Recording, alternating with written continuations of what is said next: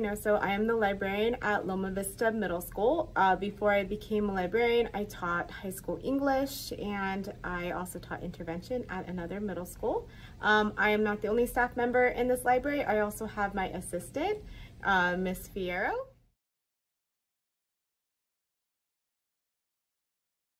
Hello, my name is Miss Fierro. I work in the library here with Miss Reynoso, which is my librarian, so I assist her in any needs.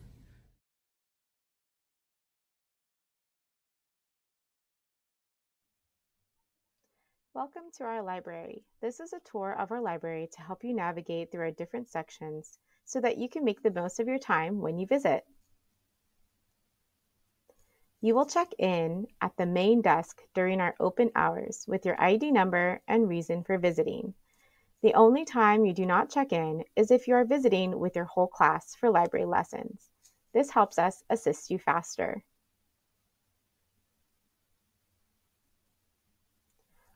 Our fiction section is quite large. Here you will find diverse array of genres, mysteries, thrillers, romances, comedy, historical fiction, suspense.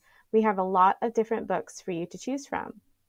The books are all organized by call number in alphabetical order. You will find the author's first three initials of their last name on the spine of the book. Call numbers are easy to locate with a quick search in Destiny Discover.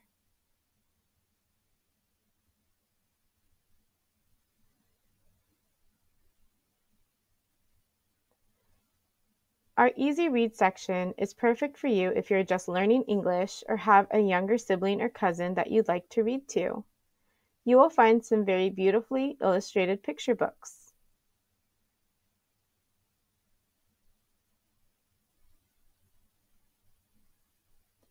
Our nonfiction section covers a wide range of topics from science and history to biographies and animals. Our most popular nonfiction section tends to be the sports and video games, which you will find in the 700s. Our nonfiction books are really easy to locate with a search in Destiny Discover. Call numbers refer to the Dewey Decimal System, and you will find the call number on the spine of the book.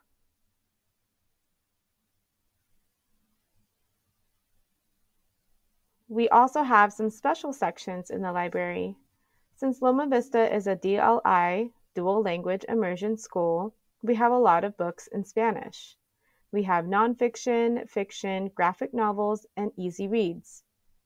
These are easy to find by the bright green label on the spine. Behind the beanbag chairs in the picture, we have our graphic novel section. We have both fiction and nonfiction graphic novels. Graphic novels are characterized by the bright yellow label on the spine. Next to that section is the manga section. It also has a bright yellow label on the spine.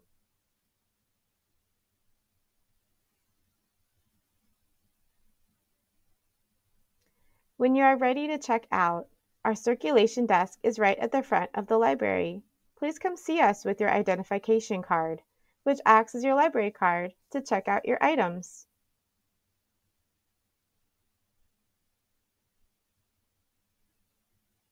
We have a lot of fun things to do in the library other than just check out books. There are board games, Legos, coloring pages, crafts, and other things to create during lunchtime or before school. We also have a fun magnetic poetry board.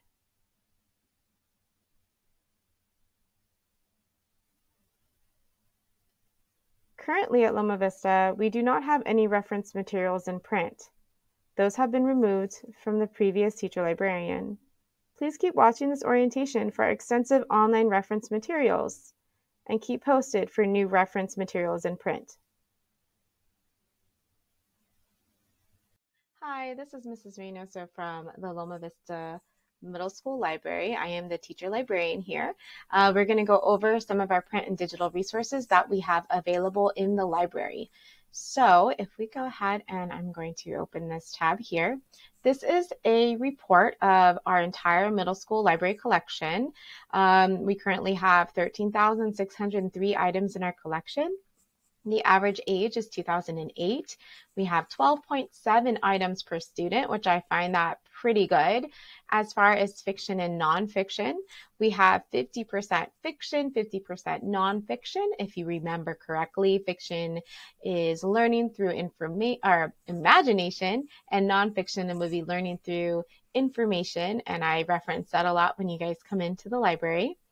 Um, as far as the different items we have, you can see here we have a lot of um, science technology items. We have a lot of arts and recreation items. I, when I say item, I mean materials and books. Um, as far as literature, uh, we have a lot of literature. However, this classification is a little different, but in the fiction category, we have a, a ton of literature there. As far as history and geography, we have a lot of information and biographies. If you are doing any uh, reports for social studies and history, we have a lot of information for you to reference. Uh, reference materials are very slim. We will be working on those in the next upcoming school year. So look for more reference materials at that time. All right. And then moving along, we have lots of different fiction books. We have some easy fiction, a little bit, um, and then lots of regular general fiction. And we have lots of graphic novels. We have a ton of Spanish items because we are a um, dual language immersion school. So we have a lot of DLI related books. So, a lot of Spanish books because that's the other language that we have here um, that some of you are in classes for, and you know that you can come and get a book in Spanish. We have a lot of diverse titles in our collection, which supports an environment that values and supports diversity, equity, and, and inclusion, which is very important for our school. Um, a lot of books on social and emotional learning that help to support the emotionally intelligent and establish relationships and make responsible decisions. A wide range of books in different reading levels. So, depending on if you pick a book and it's difficult for you, you might need an easier book, you might need a harder book. Um, you are always welcome to ask me at any time. So, I'm going to scroll back on up here and we're going to go ahead and look at our ebooks. So our ebooks and digital books, uh, we do not have a lot of ebooks and digital books in our collection, mostly because our population of students, you guys out there, um, don't really check out a lot of ebooks. So we don't really spend money and have licenses for ebooks because a lot of my students prefer books in print. However, if that changes in the upcoming year or so, we may have some more items um, in digital format, so audiobooks and ebooks. I myself really love audiobooks and ebooks, so I think that would be a great addition to our collection, but maybe not just yet. I want to see how many students really um, want to begin using those resources. Okay, as far as digital resources, for students, we have a lot of digital resources. So this is just an example of our ClassLink. Um, I know a lot of the students are very up to date on how to use ClassLink. So you will see here, we've got some uh, Adobe Express for Education, BrainPop. Um, some of these are also for me because I am a teacher. So some of them may not apply to you. Um, our Destiny catalog is here and we'll go over that another time. Formative, uh, you might use that in class. I know you use that in math class. Um, Nearpod, tutor.com, which is a great, great resource uh, for students to use. So actually, we're going to go ahead and look at tutor.com because I know a lot of my students have not been really using it. Let's see if I can get it to launch.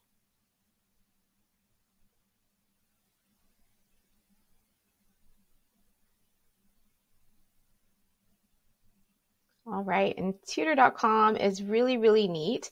Uh, basically, you can go on here at any time and you can um, ask a tutor for help. And it's really neat because you'll get a live tutor in the chat.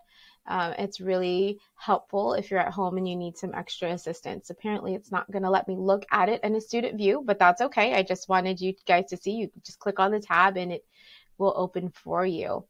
All right. If you have any issues with your ClassLink, please come see me in the library as well. Um, but these are some things we have for you guys to use. Um, we also have Gale in Context Gale in Context for middle school. This is for environmental studies, uh, for science, and I will go through that with you at another time further along in this orientation and we'll look more into our research databases that we have for students. All right, I hope you, you guys have an amazing day and take care. Hello, students. This is Mrs. Reynoso from the Loma Vista Library. I am your teacher librarian. Uh, today, we're going to go over a little bit of how to use our website so that you can more effectively navigate um, our services and what we offer here. So, our website is right here. So, this is basically the Loma Vista Middle School website. So, I'm going to show you how to get to our website. For the library, you're going to go to academics. You're going to just hover over that, and then you're going to go down and click on LV Library and that tab will pop up here. Okay, and here we have our Loma Vista Library website. Most of you know if you come in for regular library visits that we use this uh, library website a lot. So I will often post lessons on here. I often will have information on here that we'll go through if we're looking at our research databases um, or if you need help with MLA format or anything like that. So a lot of stuff is here. Um, what's really important is on this homepage, you have uh, Destiny Discover here button for that. And then you also have a need a lunch pass button. Uh, those are the two things I get asked the most is how can I find a book and when can I get a lunch pass? So those are two things there. Um, you'll see further down, we've got library hours, our information sheet, which you guys should be well aware of how to use, um, a calendar. So there's our calendar for the month of October, but that calendar gets updated all the time. We are a very busy library. Um, at the bottom, you'll see myself, uh, teacher librarian, Mrs. Reynoso, and then um, our librarian assistant, Ms. Fierro. Uh, we also have a student only password protected page that's for your lessons. So that's down there in case we are working on something in the library on the day you come to visit us. So I'm going to scroll back to the top. Up at the top, you have a books tab. If you go to the books tab, you'll see when you can check out books, which is basically all day long. If we are open, you can get a book unless there's something else happening in the library, but it's very rare that we will close um, unless we have to. So we are always open uh, during our hours. And then here again is that Destiny Discover button. And we're going to look at that library catalog in a little bit. Um, here's some book etiquette, some rules about our space, which we've gone over before. This is really neat. This is a user guide of how to put a book on hold through Destiny Discover. Um, I have a lot of students that want to check out popular books, and a lot of those popular books are out all the time. So if they're out, this is an easy way to uh, put a book on hold, and I'll go over that when we get to our catalog um, instruction. And then down here, I also have a book recommendation form. If there is a book that you really, really, really like and you do not see it in our catalog, in our library on Destiny Discover, you can recommend that book. I just got a recommendation for some K drama uh, books today. So I'm going to go ahead and add that to my list because I am about to place a book order very soon. So you just fill this out. You need to be signed into your Alvord Schools account and put the book recommendation, the title, and a link is very helpful. I have not read every single book in the world, so it's really helpful if you place a link so that I can review the book and see if it's appropriate for our library. Okay, now at the top again, we have uh, lunch in the library. So lunch in the library, um, this is our space. It's updated a little bit more now. We have some beanbag chairs and things that I need to update this picture, but uh, basically looks the same. We have some Legos. We've got some colored pencils and stuff down in that area. There's a puzzle table in this area now. Um, up here in the file folders, I have coloring pages for you and different other things to, to play with while you guys are in the library at lunchtime or before school. So here you're free to color draw study, do any activities that we have for you. Um, seating at lunch is first come, first serve pass basis. You must have a pass and you must have your ID card to come in for lunch. And if you come into lunch, you stay the entire time. You must sign up the morning of the school day you want to visit and make sure that you sign up for your lunchtime. We are a very large school. We have 1,024 students here at Loma Vista Middle School. So we have three separate lunches, as you are aware. So make sure that you sign up for your either your sixth, seventh, or eighth grade lunch. Do not sign up for eighth grade lunch if you are a sixth grader. So make sure that you read that. So to sign up for lunch, we'll go to that tab here. You're going to click reserve your lunch spot. And you'll get this pass that comes up. And so right here, we have already closed for the morning because it is past 9.30. So at 9.30, all the lunch spots close. And it says here, if there are no open slots, we are closed. Please be sure to sign up for the lunch you wish to attend.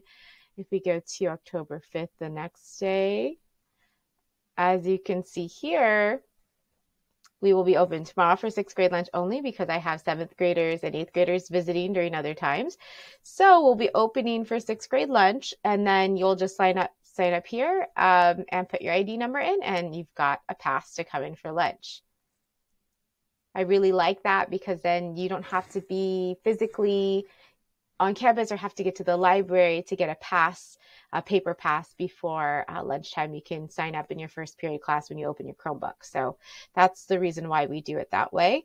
And it's very simple. And if you have questions, you can come to the library and I can help you sign up. It's very, very easy. All right, so some other stuff on our website. You have research. So I'm going to go ahead and click on that in our research databases. It has a little bit of an explanation of what a research database is. Uh, these are some of the research databases that we have here at Loma Vista Middle School and in our district. And I will be going over what those databases are in the next video so that you can learn about how to use research databases effectively and search for information that you might need for your projects at school, papers, etc. Okay, so that's a very great helpful tab. Uh, there's also an MLA format page, and you'll find an MLA format guide here on the right, like a, a user guide that talks about what MLA format is. It's Modern Language Association format. I was a former English teacher, so I'm very well aware of how to use MLA. Um, what's really cool is Google Docs has an MLA format report already ready to go. Uh, and so if you need any help with that, I can definitely help you with that. APA format we don't really use very often in the middle school, but MLA format I know we use a lot. So uh, I can help you with that as well. But that's just a quick user guide if you need assistance.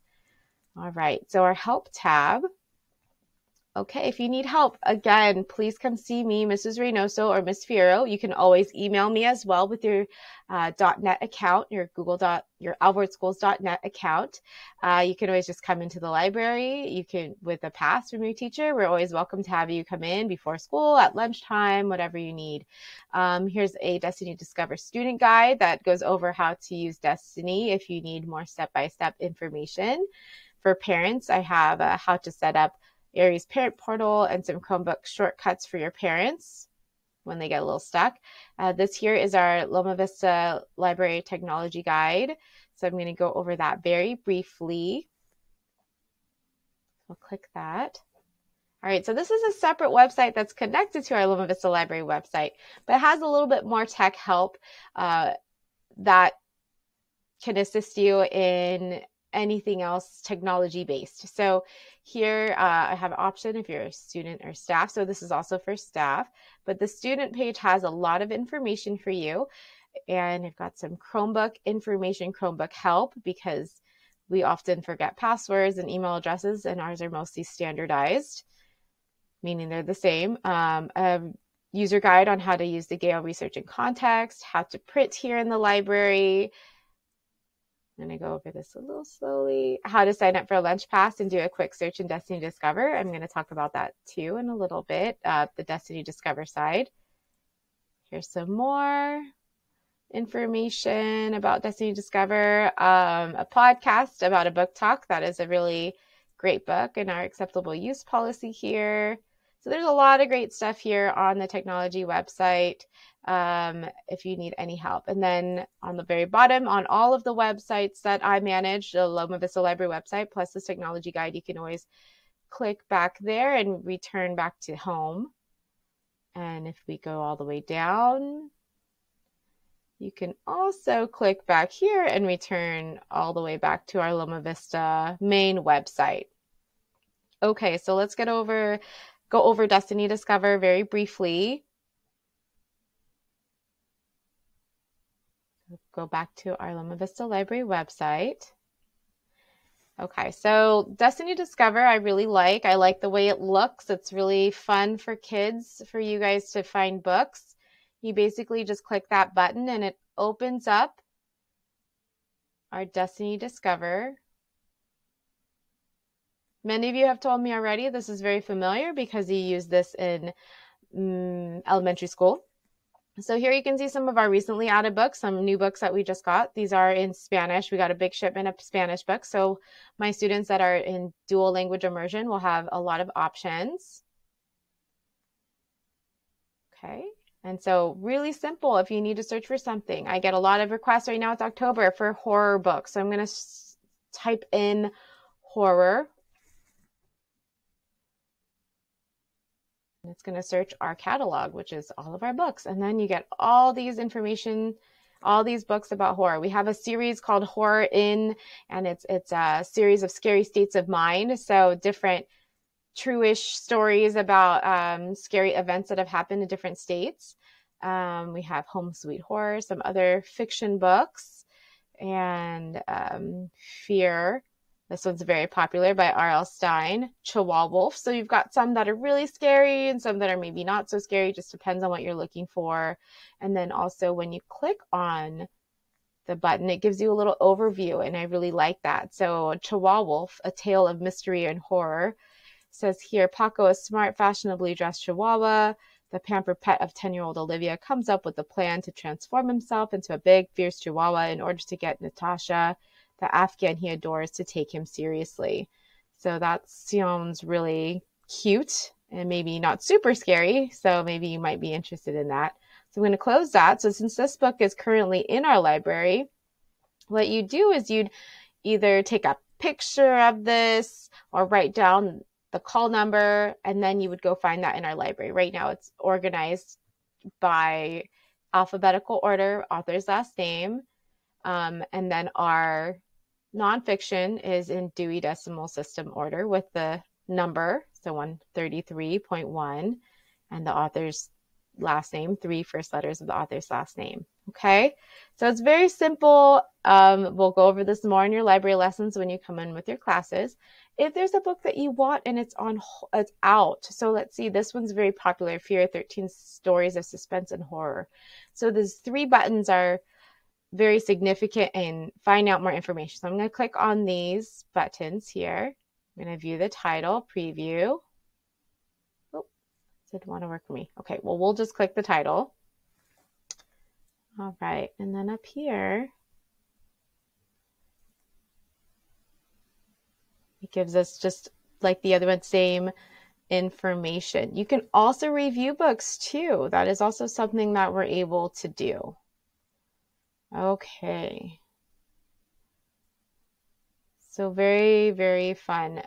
Fun way, easy way to find books. You get to look at the cover. I know we tell you not to judge a book by its cover, but it's really a nice way to see if you might be interested in a book. And it definitely helps you find it. You can also log in up here at the top. Um, you can sign in with your Google account, single sign on. I'm going to use my Alvord account, just like you would. And see if it goes. It's a little slow right now.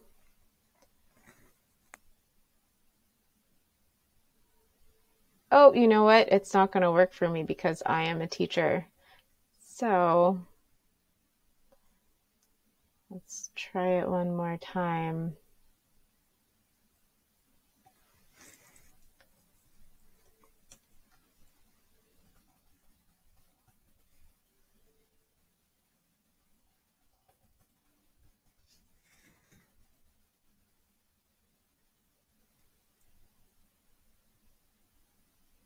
So thank you very much at getting this little preview of how to use Destiny Discover and how to get a lunch pass and how to navigate our website and technology guide. I hope you have a wonderful day and I'll see you real soon. Thank you.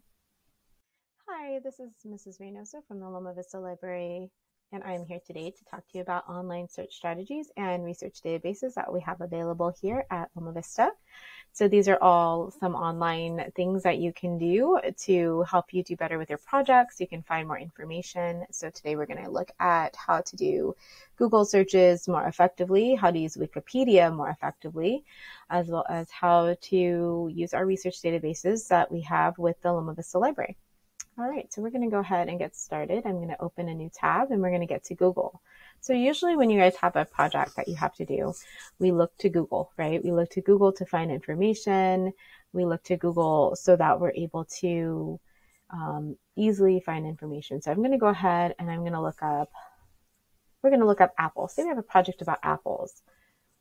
All right. So when we look up apple, because we just said apple, we didn't say what kind of apple, um, and this project we're going to say is going to be about the fruit. So Apple comes up and it's apple.com, right? Everything about Apple. So Apple phones, uh, Macs, etc. So what we want to do is we want to look up the apple fruit. So I'm going to type in apple fruit. So even that basic knowledge of trying to find what works um, meaning more being more specific that we're really searching about apple fruit. And then this apple fruit comes up and we've got all these apples and information about apples. So we're going to talk real quick about Wikipedia. So Wikipedia is a great website. I know a lot of your teachers say not to use it. And that's true. You don't want to use it as a source when you're citing information but there are things in Wikipedia that are not bad. And it's good to know that it's out there if it can help give you some general information to help further your searches and further your research if necessary. So if we click on Wikipedia for the Apple, we're going to get some information.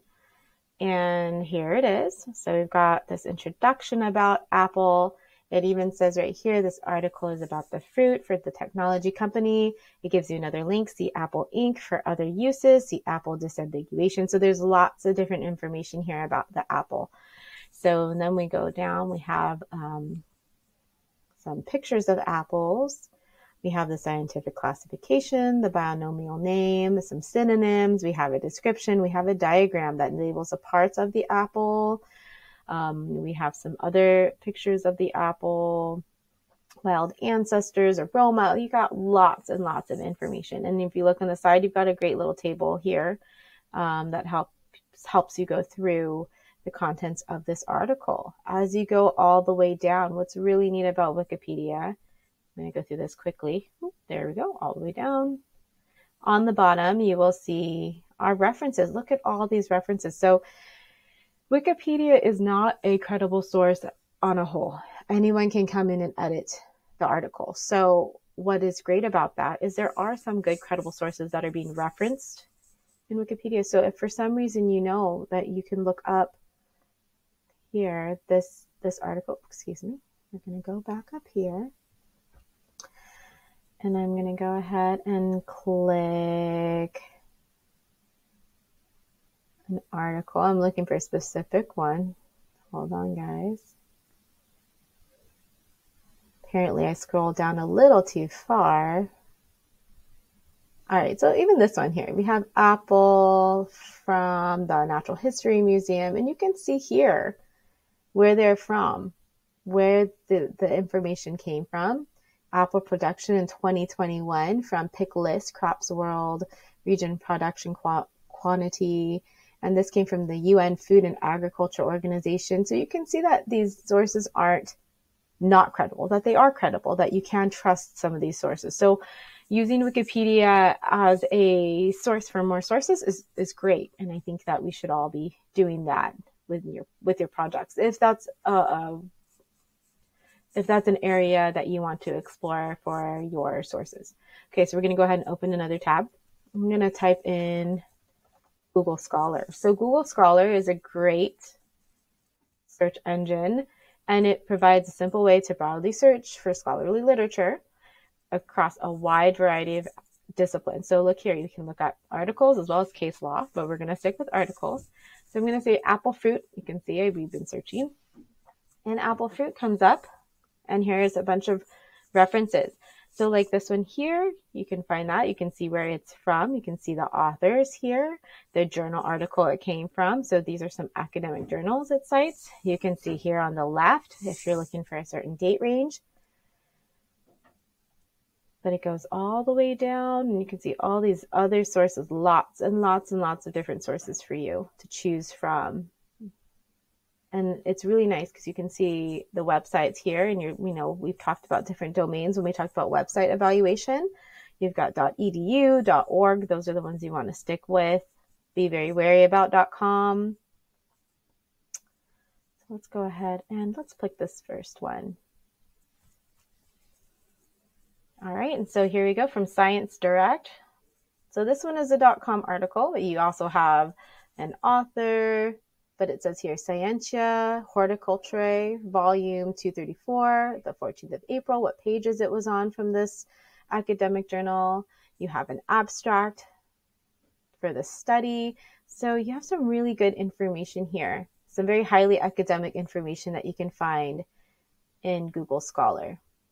All right, so going back, we're going to go ahead and get to our library website. If you remember, you can either go through the Loma Vista middle school website, or you can click the Loma Vista Library link. Most of you have it bookmarked.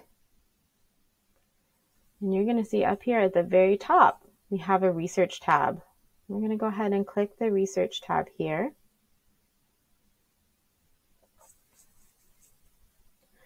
All right, and now that you guys are in middle school, you may not be completely familiar with research databases. So research databases include magazine journals and newspaper articles, as well as media, such as audio recordings or photographs. These resources are verified sources of information and are created by experts, educators, and librarians. So research databases, it's where you're going to find a wealth of information that's already been vetted, it's already been um, verified that it's credible sourcing so you won't have to do that questioning of, oh, is this the right source? Like, is this going to be a credible resource? Can I trust this website? Can I trust this article? It's already trusted. So the greatest thing about using research databases is that we already know that, and it's really good. So if you come down here, going to look for Gale in Context Middle School. We're going to look at that one first. You're going to go ahead and click that. And when you open it up, you're going to be set up with a little search bar. And the search bar is going to be very basic. You just go ahead and you open it up. And you just type in, we're going to go ahead and type in apple since we've been talking about apples.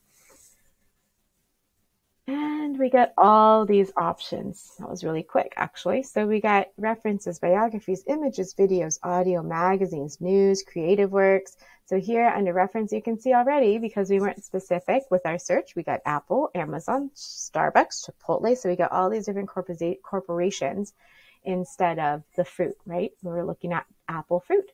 So if we go up to the top and we click advanced search you can type in up here, you can type in apple. Now we're going to type in fruit.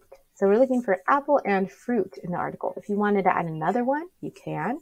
You might want to say in America, in South America, uh, maybe production, and see what it says. You can also see down here, you've got different content types, different document types, publications, content levels, so you can see to what um, Lexile level, what reading level. So really good information here. So we're going to go ahead and hit search. And the same thing comes up where you can search by reference magazine image, video, audio, and news. And then here we go. We've got Apple from the Columbia Electronic Encyclopedia.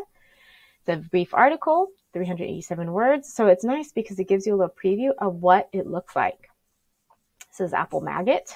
This is Fruit mythology, this one's a little longer, 1500 words about. So You can see all these different types of things here. So I'm going to go ahead and I'm going to click on, um, let's see, we're going to just go ahead and click on the first one. Let's go ahead and click on Apple, the Columbia Electronic Encyclopedia. So this is from the Columbia Electronic Encyclopedia this is what I really want to show you. So what's really cool about our research databases is that if you open your Google and it says send to Google Drive, you click the little triangle, it'll save the articles for you.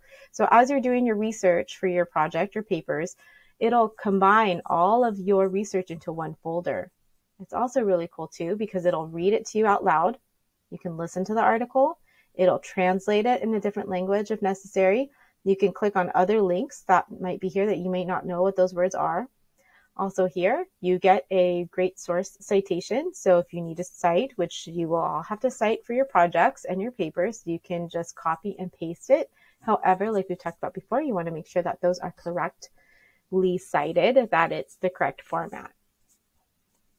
All right, so that's the easy, easy way of how to find information on Gale in context. So let's go back to the Loma Vista Library website. Okay, so here we go. All right, so now we're going to look at Gale opposing viewpoints. So these are great information about hot button topics, hot button meaning hot topics in society, issues of interest. So you might see this is kind of fun if you're really interested in social social news or almost anything you can find a topic here and different opinions on it and what the other side might be. That's what it means by opposing. So when i used to teach high school english i really liked this website. When i used to teach um, argumentative essays argumentative speeches because then you have you have your argument and your counter argument you can find support for that. So it's really really nice that you can do that. You can browse more issues and you can see a bunch of different kinds of issues here. Look at that. How interesting. Lots and lots of different topics that you can check on. So let's go ahead and look at food safety since we're talking about apples.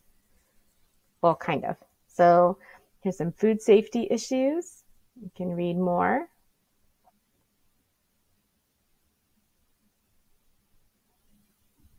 Okay, and just like the other one, because it's Gale, you can save it to your Google Drive. You can also find the citations here on the bottom, which is really good.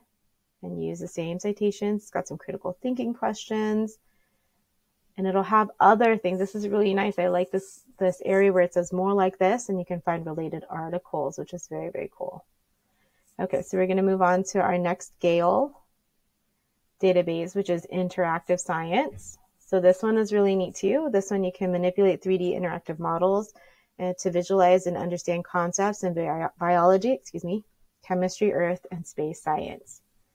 So in clicking this one, and if you access anything from the website, the library website, it just pops right up. You don't have to sign in unless you want to save it to your Google Drive. Okay, so here's a Gale Interactive Science. So we're going to go ahead and type in a plant cell. It's already there. Okay, so you get your plant cell here. And it's really cool is it's not just biology either. You can look up chemistry models and you can look up other models. So it's really, really cool that you can look up these plant models and you can actually play with them and move things. Like I move the nucleus, I can open it up. I can move the cell wall here. Look at that and it comes apart and you can twist it around. And then it gives you a nice description. You can again save it to your Google Drive. You can listen to it out loud. So this would be great for a science assignment if you're having trouble really visualizing what the parts of the cells are, things like that. It's a very, very cool little tool that we have for you.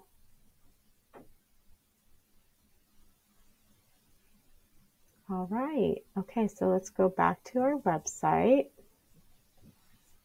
Okay, so the last database that we have is the Britannica Middle School Library. So you would just click this one. It opens up. This one I really like. It's very simple, so it's not as confusing maybe as Gale. So if I want to type in apple, I'm going to get apple. So I've got apple, fruit, and tree right here. So I'm going to go ahead and click on that one. And then underneath you saw briefly it said Steve Jobs because it talks about the Apple company too. But we don't want that one. We're looking at the fruit. So if you're looking at this, you can see all the little videos. It's kind of short. We can print the article here. We can cite it. We can listen to it. We can translate it. So just like uh, Gale, there's a lot of things that we can do here as well. Um, I like that you can change the reading level. If this reading level two is too easy, you can go up to the harder one. You can go down to the easier one. It's really, really nice that you're able to um, change the reading level so that it's accessible to wherever you might be with your reading and so that you can understand it and use the information. Okay, so I'm going to go back here to our research databases. I also have up here at the research tab an MLA format tab. So if you click that, it'll show you how to open a Google document that already has an MLA format done for you.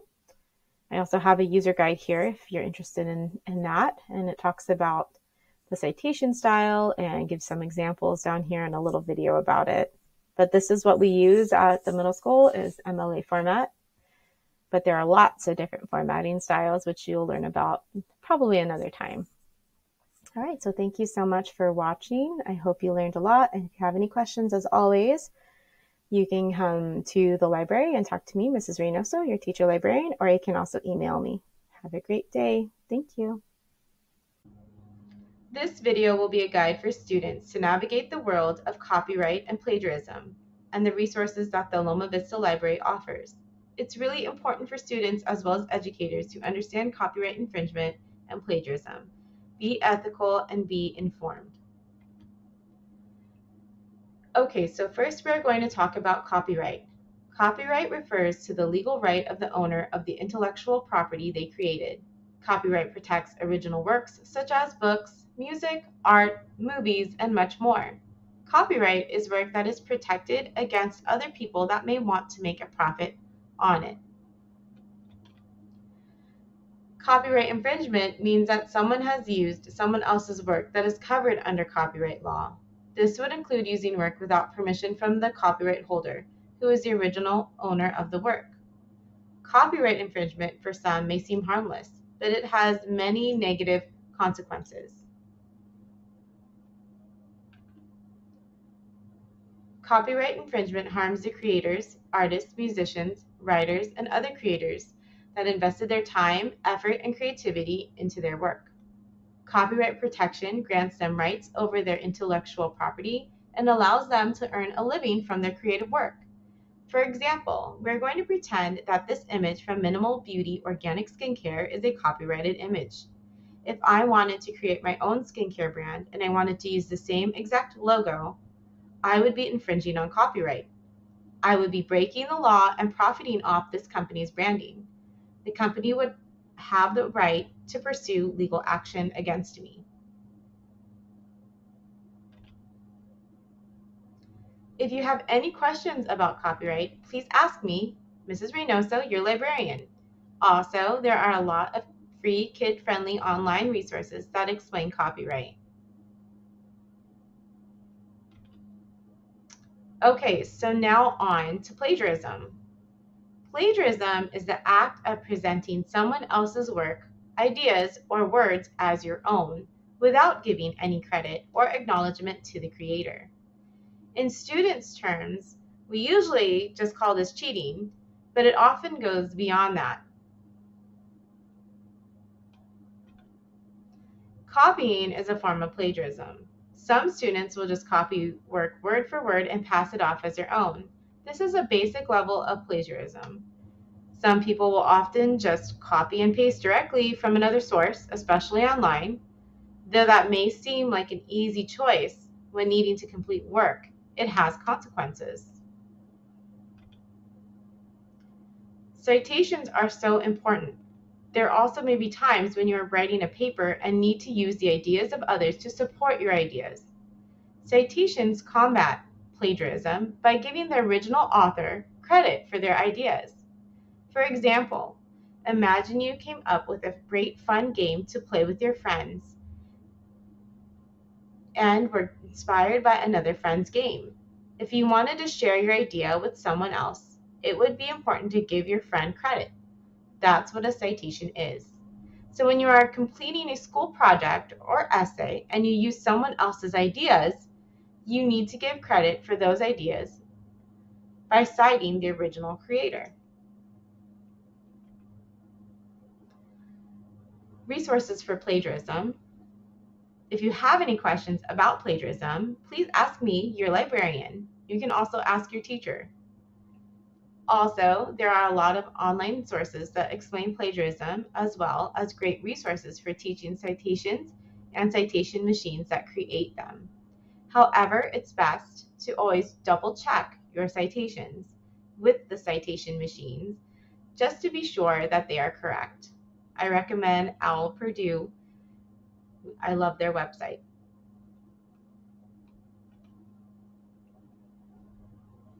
In summary, copyright infringement relates to using someone else's creative work without permission to do so. Plagiarism involves presenting someone else's work or ideas as your own. Both are extremely unethical and can have legal consequences. Remember that it is always important to respect the rights of creators and provide proper credit when using or referencing their work. As always, if you have any questions, please see me, Mrs. Reynoso, in the library.